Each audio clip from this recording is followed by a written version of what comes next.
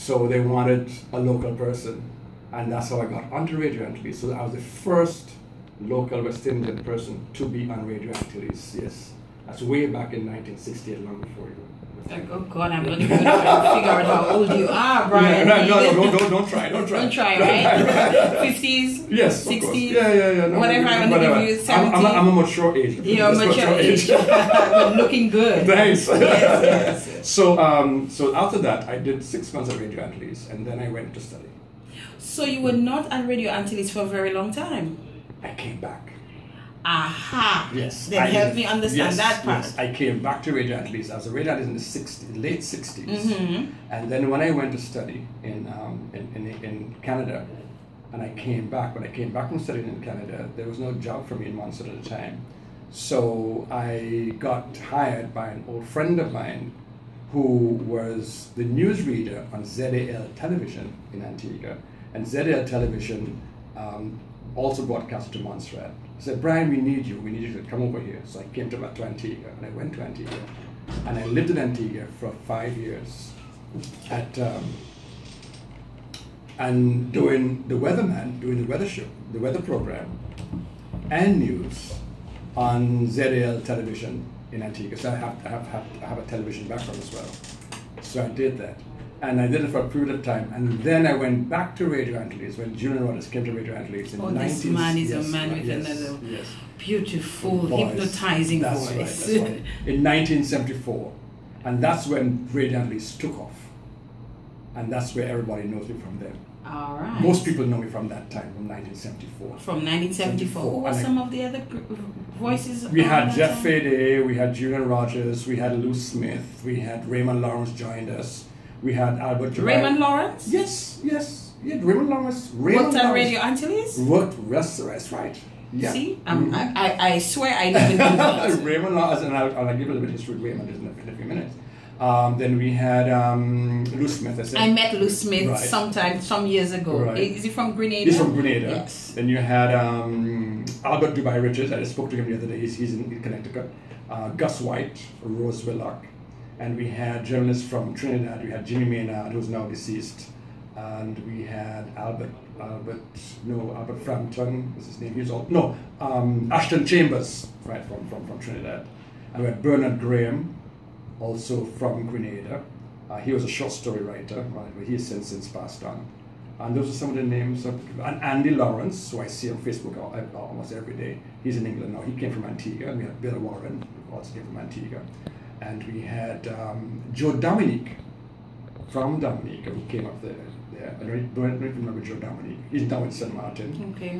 And um, and those are some of the names I can remember. Of course, Jeff Fede. Some people will remember Jeff Fede. Yes, I've heard that Yes, name. yes, I've heard your name. Mhm. Of course, Dubai. Everybody Right. knew about Dubai, and so on. But how did this radio station become so popular? I was I was not born in some of the instances here, Right, right, but. Yeah. I knew about radio. I knew about radio, Radio Antilles, Mhm. and I, I heard about Radio Antilles. Um, but it appears to have been probably the most popular radio station. Yes, yes. Radio, radio analyst, and I, I really must give good, um, a perfect credit to um, to Julian Rogers because he was the one who really put it back, put it in the map. What happened? Radio actually started first as a came in as to it was as, no, let me put it this way: it's a more it was the most powerful radio station in the entire Western Hemisphere, including North North America, because in it was Powerful in terms of its outreach. Yes, or- and, and, and the wattage. Okay. 200, the transmitter was 200,000. I see. hmm In the United States, you cannot have a radio station with more than 50,000 watts. That's, that's by law. Okay. So Radio Antilles now is 200,000 watts. It was set up by a Swiss German gentleman who wanted to reach the German population in Central South America. So the initial sta- the initial programming was English, French, and Spanish. The Spanish was done in the evening. Why? Because at night, AM signals travel farther. So they're able to reach Central South America in the evenings. So the Spanish programs came on from 8 to 9 o'clock until 12 o'clock midnight. And then the French, because Guadeloupe and Martinique, and especially Guadeloupe, they were onto RFO.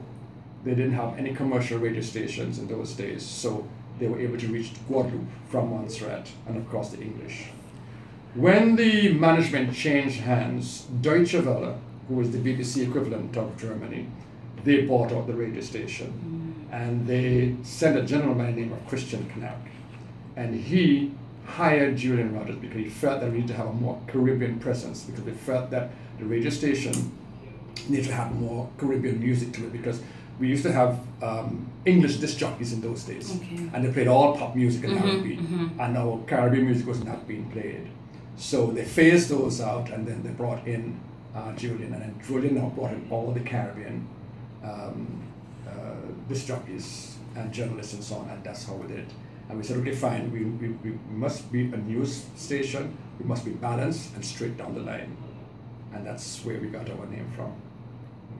Know, which is great. I mean, it was great working there. Um, What you did there? What you did? I did. I first. I did journalist, and I was a journalist first and broadcaster because I did news as well as I did uh, broadcasting. I would work um, in the, do the afternoon shift, do the news, read the news, and then do an evening um, program, and uh, and then I also eventually I did sales after a while because I was I was very very good in sales, you know.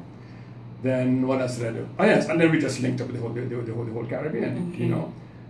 Then we made our names ourselves when we were the ones who promoted Exile One. Exile One with Rosita, because we had a top 40 show. I'll never forget, that's how I met Gordon. Exile One was, um, Rosita became number one on the top 40. It was the first Caribbean record to be number one on Radio Antilles, ever in the history of Radio Antilles. I was there for eight weeks. Eight weeks. Eight weeks, and never forget that. Rosita. And that's how this whole Cadence Calypso thing, that's how we, we enjoyed it and we played it. We just loved it. And then, of course, Dubai, and of course, our, our big fan base was, of course, Dominica. Mm-hmm. Then Hurricane David hit Dominica. So what we did, what we used to do in the newsroom, we had all of us had very powerful shortwave radios. So when we did news in those days, we didn't have internet and stuff like that. So we would monitor Voice of America, BBC, uh, Deutsche Welle, Radio Caribbean, CBC, and Voice, Voice, I said Voice of America, just to get the news, so that we can. How did you do that? Did you record it? We record it, we listen to it, and also not only that, but also to get the pronunciation of names, right? So we can write them out phonetically, so make sure, make sure we, you know. And that's how we presented our news, that we got a news. So we, every day, as a matter of fact, it's a hobby for me. I do it all the time now. So you, you had to script it. I had to script it. Mm. Yes, yes, yes. and even after today, I still listen. Every time I, in the morning, I listen to DBS, like Route 95. I, I just hop the, the, the, the Yes. thing, you know. well, so- not today. Today you just go on, On on the the internet, page, you right. copy, you paste, you edit, and you're good to go. How times Right, have right. changed so drastically. So what? So when Hurricane David, we knew what was happening because I had a, I have a fascination for weather. So we had developed our own weather map because we realized that no other radio station in the Caribbean was dealing with weather. So we to do a weather program at- after the news, and we developed our own weather map, and we and we worked with partnered with the Met Office in Antigua. And what we would do at the end of the evening at 6.30, we produce our own weather. We sort of define zone one, zone two, zone three. So we used to follow the weather very closely. So we knew when Hurricane David was coming through. So we we monitored, I monitored all the ham radio operators because the shortwave radio I had, I could monitor, I could listen to ham radio operators. And we were listening and we knew when hurricane was passing through Dominica. Yeah, and I listened, I was tuned, we couldn't hear nothing from Dominica, and, I tuned, and that's when I like Fred White. Ah, yes. Mhm. That's when we heard Fred White, and then we were able to make contact, and then we said, okay, fine. My boss at the time said, okay, fine, listen, you guys need to get down to Dominica tomorrow.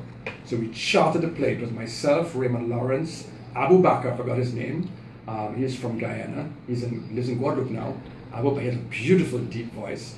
Uh, Abu Bakr and um, Norma Waddington from Barbados. And the four of us flew on a, on a charter plane, came into Melville Hall at the time To cover. to come to cover, and then um, the prime minister at the time, I think Mr. Seraphin, Roger Seraphin, The sent interim. interim, Mhm. sent a helicopter for us, and we took the helicopter from Melville Hall, and they dropped us at Lindo Park.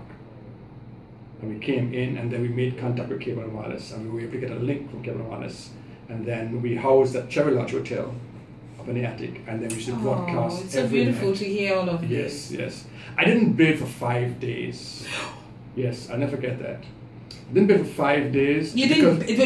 You did not bathe. I did not for bathe for five, five days. because the water was contaminated and we couldn't get any, any water. There's no water in Roseau. We eventually had to go one moonlight night because we were all up and down the place, doing that, you know, because we also had a team of nurses from from Monza that came. No with us. power. No power, nothing at all. So what we did one night, we drove to River Estate and went in the river. and That's where we had our. our thing. I never forget that. Every time I see it now, I remember those things come back to me.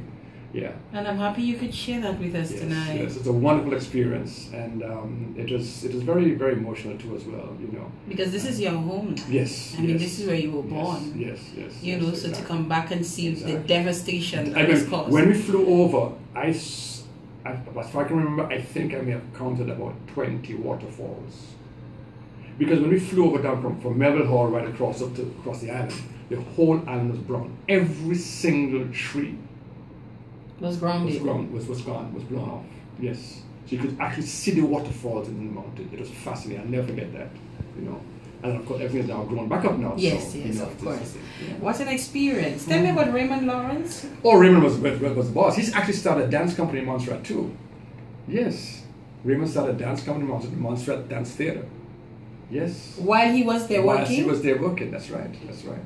And he, um, he, he's probably blushing right now. Go on, blush right. and he, well, he worked in the newsroom with us, and he was very, very good. And, Yes, and and he's yes. another Dominican with a beautiful voice That's as right, well. that's right, that's right. Yes. So that's uh, he worked, worked for us for, for two, three years up there. Yeah, and then he came back down. So overall, how would you rate the entire Radio Antilles experience? fabulous, fantastic. There's no other radio station like that. And it pains me that now I've come in this day and I hear radio the way it is. That's not the way how I know what radio is. We had we had raised the level of listening to radio in for Radio Antilles. That was when radio was radio. You know, we And you we- hold no you hold no qualms about I have, that. I have no qualms about saying that at all. I'm very disappointed in what I hear today, and because I feel that somewhere along the line it is lost. You know, um, I the other day I did um, some training for the radio station Posse Vibrations in, in, in Portsmouth, and what I did in my training with them, I, I believe in training. We'll probably touch on that a little later on. I brought them back to the basics of radio. I said, if you're going to be in radio, I believe in, in if you're going to be selling saltfish, you need to know how saltfish is made. That's correct. So if you if you're on the radio station and you be a DJ, you need to know where the name DJ comes from. Do you know it? None of them knew. And I said, Do you know where radio how radio started? None of them knew. And I, and I put in the history of the radio station, all the radio stations in the Caribbean when it started and so forth. So it was an interesting thing for them. Yes. I named all the radio stations, all the frequencies, all of them. I wouldn't mind that training myself. We're gonna take a break and we will come back in the spotlight tonight. It's almost like a history lesson mm-hmm. with Brian Meade here on the In the Spotlight radio show. We will take a break and we will come back to talk some more.